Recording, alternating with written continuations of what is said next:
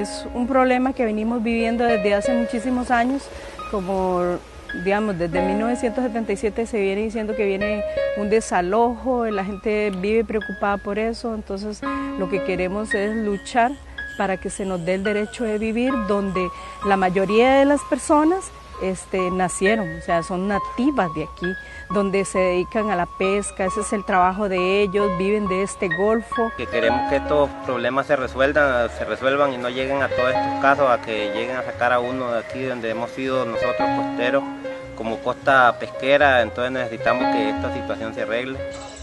Aquí el golfo es para pescar nosotros los pescadores, no para los turistas, porque esto no es turístico. Y sí, yo necesito vivir en esta playa porque soy pescador y necesito estar cuidando mi equipo continuamente porque ahí somos acechados por los piratas. Bueno, desde que nací vivo aquí en esta zona, soy de, de ¿verdad? La mayoría de los que vivimos aquí son pescadores.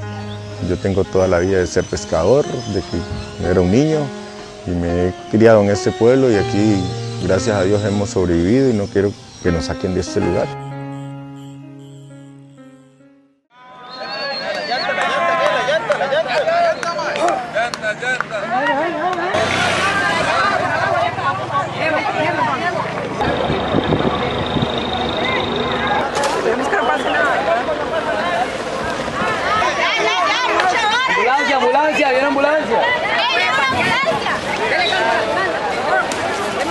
María.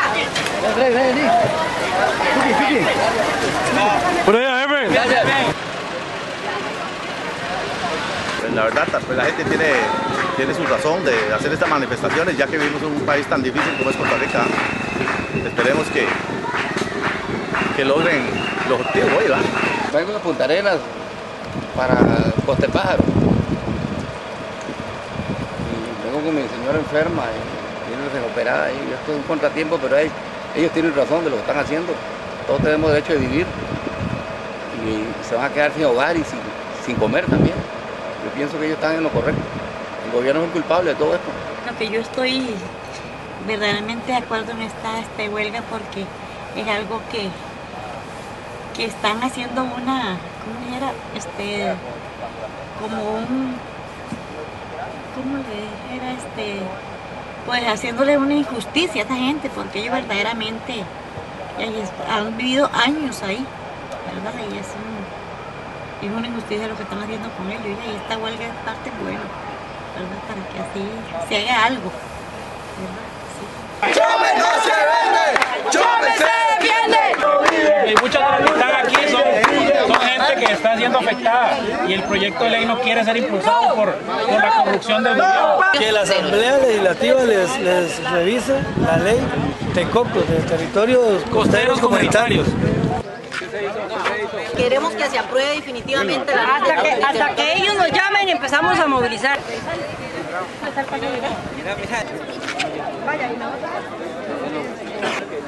A nosotros nos enterraron la madre, nos la volvieron a levantar. ¿Y vos qué? ¿Qué pensaste? ¿Que pensaste que era el día? ¿Qué estás diciendo? ¿De dónde están los?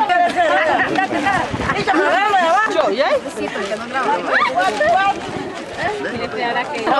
¿Para dónde irse? Tiene que asegurar el futuro. ¿Para dónde?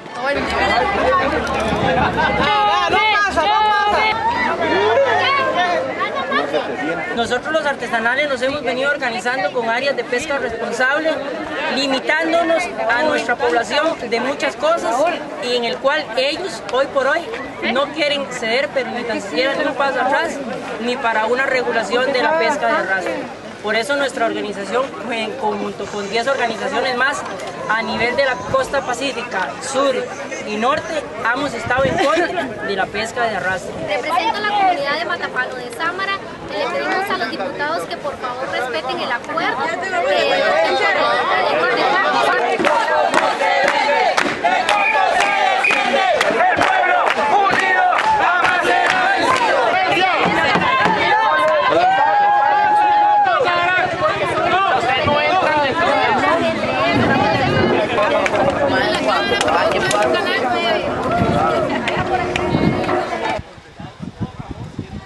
Vamos a conceder cinco minutos para que levanten y abran la vía. Después de cinco minutos, lamentablemente, vamos a tener que actuar eh, como corresponde. Porque yo lo que necesito aquí es esto, una de dos. Abrimos un carril, paso regulado, que primero pasen carros de aquí, después de allá. eso es como se normal. hace cuando se está Ok, arreglando una calle. Eso si lo hacemos bien.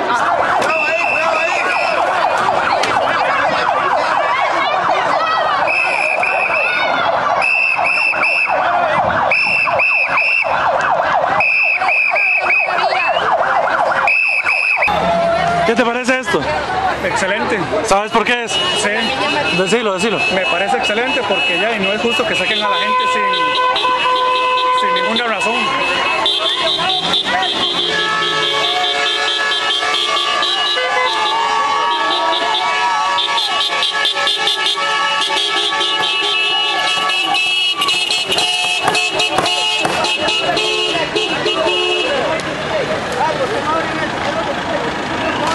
Pero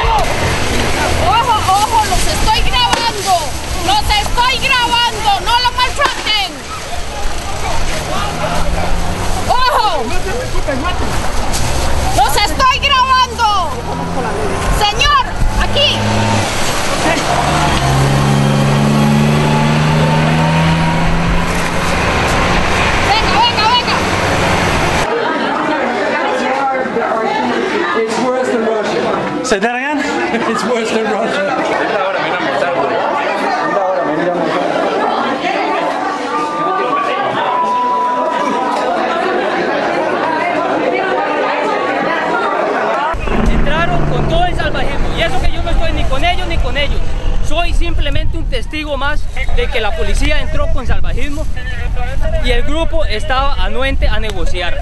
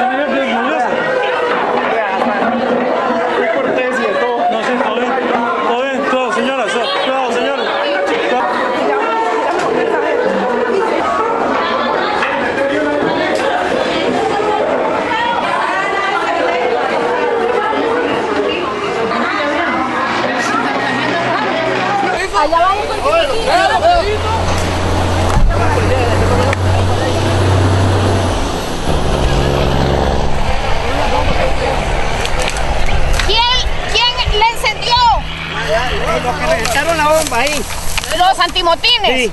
Sí, eso es. Ellos fueron los que. Los que reventaron la bomba, cayeron la bomba y se prendió el pochero. ¿Y ahora qué va a hacer? Ya no sé, ellos pagarán eso.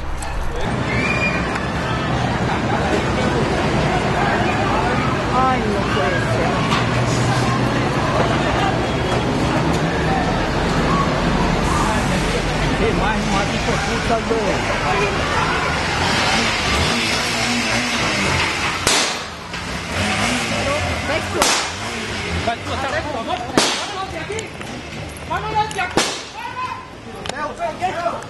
Y cuando estábamos ahí empezaron a, llegó lo, la policía antimotines, empezaron a, a tirar este, gas y lacrimógena, estando la bomba ahí, habiendo chiquitos que podían incendiar la bomba, pu- pudieron encender un cochero ahí, corrieron peligro unas casas que habían ahí y se oyeron balazos y todo.